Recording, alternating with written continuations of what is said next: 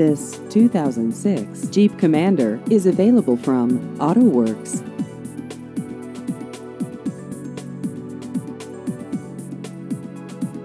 This vehicle has just over 125,000 miles.